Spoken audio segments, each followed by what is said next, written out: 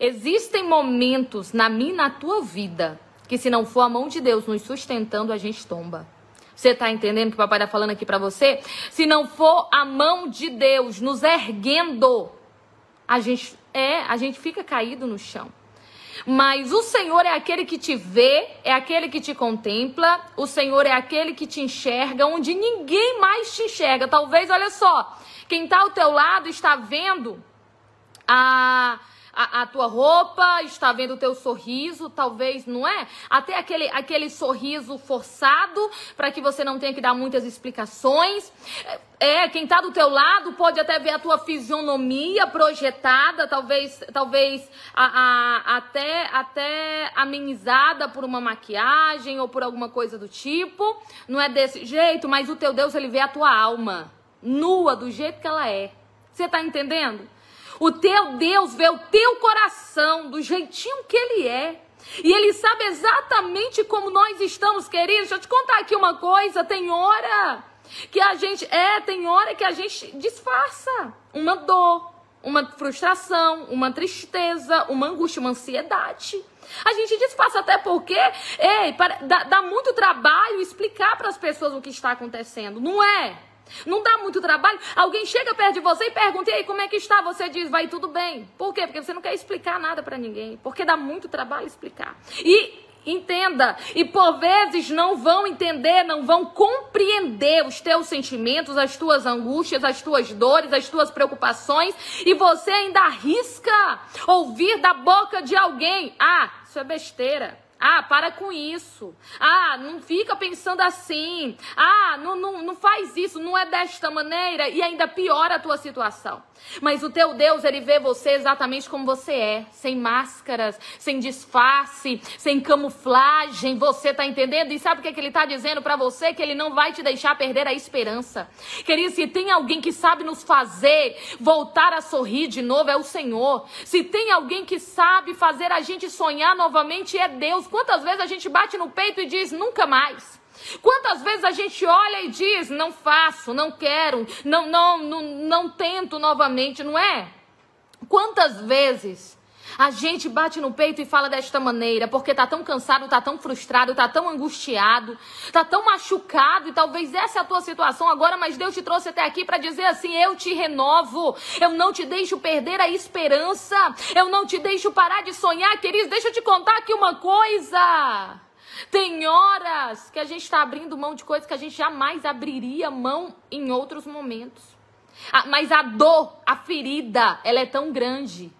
A decepção, a frustração, a tristeza, a angústia, a raiva, não é? Ela é tão grande no nosso coração. A gente sabe, os sentimentos estão nos consumindo de dentro para fora e a gente está lá abrindo mão de muita coisa de sonhos, de projetos. Por quê? Porque está desesperançado. Deus te viu você aí. Desesperançado, dizendo: Não, nunca mais eu faço isso, nunca mais eu tento isso, nunca mais eu vou ali, nunca mais. Papai está dizendo: Ei, se recupera. Respira fundo, retoma o teu fôlego, porque ainda há caminhada para você. Você está entendendo o que o papai está falando aqui para você? É, ainda há caminhada para você, ainda há sonhos para você, ainda há planos e projetos para você. O Senhor está dizendo para você nesta hora, ainda há muito para você viver. Deus não vai deixar você perder a esperança. Eu sei que às vezes a gente está dentro de batalhas que parecem que já estão perdidas. Eu sei que às vezes a gente está enfrentando guerras, queridos, que a gente não vê condição nenhuma de sair com um troféu de vitória. A gente até pensa que é uma grande perda de tempo. A gente olha e diz assim: não, não vou mais tentar, não vou mais fazer, não vou mais agir, não vou mais, porque não dá mais. Perdi essa. E papai está dizendo: não, você não perdeu. E eu não deixo você se desesperançar. Deus não deixa, queridos. Tu já percebeu que sempre quando a gente tá por um fio, quando a gente tá para perder a esperança, sabe, na humanidade, Deus levanta alguém ou Deus cria uma situação onde a gente diz assim, é, muita coisa não funcionou, mas isso daqui deu certo. Muita gente agiu de maneira errada comigo, mas essa daqui agiu de maneira certa. A gente sempre vai ter alguém Sabe, a gente sempre vai ter algo. Deus nunca nos deixa sem nada. É muito lindo o cuidado de Deus. Deus nunca nos deixa sem nada. É, nunca Você pode ter muitas decepções, mas Deus sempre vai deixar algo para alegrar o teu coração. Você pode passar por muitas frustrações, mas Deus sempre vai deixar algo que você vai olhar e vai dizer, por isso daqui vale a pena. É, muita gente pode fazer o mal na tua vida, mas Deus sempre vai deixar alguém que você vai olhar e vai dizer assim, é, mas não é todo mundo, porque é, existe, existem pessoas ainda com um coração bom. Sempre, queridos, Deus ele é tão cuidadoso conosco que Deus não nos deixa perder a esperança, Ele sabe o quão frágeis nós somos, Ele sabe o nosso limite, Ele sabe a nossa estrutura, Ele sabe até onde a gente suporta e quando a gente não está suportando mais, Deus levanta, sabe? Algo para que a gente possa sorrir, para que a gente possa sonhar, para que a gente possa acreditar, para que a gente possa se levantar e dizer: vou tentar de novo, vou fazer de novo, vou acreditar de novo, não importa o que vai acontecer, mas eu não vou perder as esperanças. Esse é o cuidado de Deus para comigo e contigo. Quantas vezes a gente já estava por um fio? Quantas vezes a gente já estava desacreditando? E de repente Deus gera uma situação, Deus levanta alguém, Deus traz algo, sabe? E você, mesmo com toda aquela camada de dor, mesmo com toda aquela camada de angústia, mesmo com todas as dúvidas, inseguranças e ansiedade, de repente você volta a acreditar, de repente você volta a sonhar, de repente você volta, sabe, a se esforçar em algo que você não queria mais trabalhar. De repente você tá lá e você olha e diz assim: Deus, só a tua mão mesmo para me colocar aqui, porque pelas minhas forças eu não estaria mais. Você está entendendo? Isso é Deus na minha, na tua vida. Talvez você estava aí do outro lado. Desse jeito, sabe? Se desesperançando já. Porque, ei, não é porque você é fraco, não é porque realmente a pancada foi forte. Mas Deus está dizendo assim para você: eu sou contigo. Eu renovo as tuas esperanças, eu renovo as tuas forças, eu renovo você, porque há muito ainda para você fazer, há muito ainda para você viver, há muito ainda para você alcançar. O Senhor, ele vai. É, tal, olha só, talvez você não esteja vendo isso tão nítido agora, porque a dor ainda é grande, mas a palavra está penetrando no teu coração. Mas Deus vai trazer sonhos novos para tua alma. Deus vai te fazer sonhar sonhar de novo, querido. Deixa eu te contar aqui uma coisa. Sabe qual é o segredo pra gente, pra gente prosseguir nessa caminhada de maneira saudável? Agradecer pelo que a gente já tem. Olha só, e lutar pelo que a gente sonha.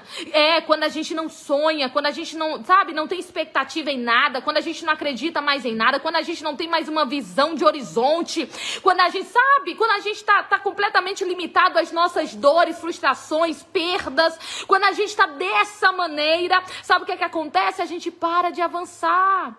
A gente não tem mais motivo para prosseguir. A gente não quer mais continuar. A gente precisa sim ter sonhos para sonhar. A gente precisa sim ter algo que nos faça sorrir, que nos faça acreditar. E Deus sabe disso. E é por isso que Ele não nos abandona. Ele te encontrou aí nesse lugar pequeno.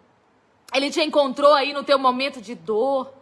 Ele te encontrou aí, ó, no meio da tua solidão e angústia. Ele te encontrou no meio da tua dor, da tua raiva, da tua frustração. Ele te encontrou exatamente aí onde você está para te dizer: eu não te abandono, eu não te deixo, eu não abro mão de você, eu não te esqueço e ainda tenho muito para você. Você vai sonhar e você vai realizar. É, você vai sonhar e você vai realizar. Queridos, eu sei que muita coisa dá errado na nossa vida. Ah, como seria bom, né? Se a gente simplesmente olhasse algo, projetasse, realizasse sempre com sucesso. Tem coisa que dá tão errado, mas tão errado que a gente diz assim: Deus, como é que eu fiz isso? Você tá entendendo? Tem coisa que dá tão errado que não é só aquilo que a gente tá fazendo que se quebra, não. A gente se quebra junto. A gente quebra no meio com aquele negócio. Tem, às vezes tem algo que a gente depositou tanta expectativa, tanto sonho, tanto projeto, tanta vontade, sabe? Que quando as coisas dão errado, quando não é do jeito que a gente esperava, quando a gente não alcança o que queria, a gente se quebra junto com um sonho, com um plano, com um projeto, com a expectativa, a gente se quebra junto. E a gente acha que nunca mais vai ser reconstruído. Mas Deus trouxe gente até aqui para falar assim: eu tô te restaurando. Eu estou te reconstruindo. Os teus pedaços eu estou juntando. Porque é só o começo. Muito mais está vindo. Você está entendendo? Às vezes a gente quer parar por algo que deu errado. E a gente esquece que o que nos aguarda lá na frente é muito maior. E a gente esquece que o que Deus tem para nossa vida é muito melhor. E eu quero declarar e eu quero profetizar sobre você nesta hora que você está sendo restaurado pela mão de Deus, reconstruído. Queridos, tem hora que a gente precisa ser reconstruído mesmo, completo, porque senão a gente não aguenta reconstruído. Sabe? Deus pega pedaço por pedaço e vai juntando. Quem melhor do que o oleiro para consertar o vaso, hein? Quem melhor do que o oleiro para trabalhar no barro? Ei, papai tá dizendo para você, ele tá te restaurando, te reconstruindo de dentro para fora, de fora para dentro, de cima para baixo, de baixo para cima. Tem um novo, é, tem uma nova versão tua surgindo aí no meio dessa dor. Recebeu? Tem uma nova versão sua surgindo aí dentro dessa história. Vai ter gente de boca aberta. Vai ter gente surpreendida com você, porque Deus fala para você neste exato momento, ele está te reconstruindo, Ele está te restaurando, Ele está te renovando e uma nova versão está surgindo para um novo tempo que está chegando. Deu errado? Muita coisa. Queridos, até mais do que o que a gente imaginava ou pensava que tinha estrutura para suportar, né? Mas os tempos difíceis nos mostram que a gente é mais forte do que o que a gente imaginava, tá?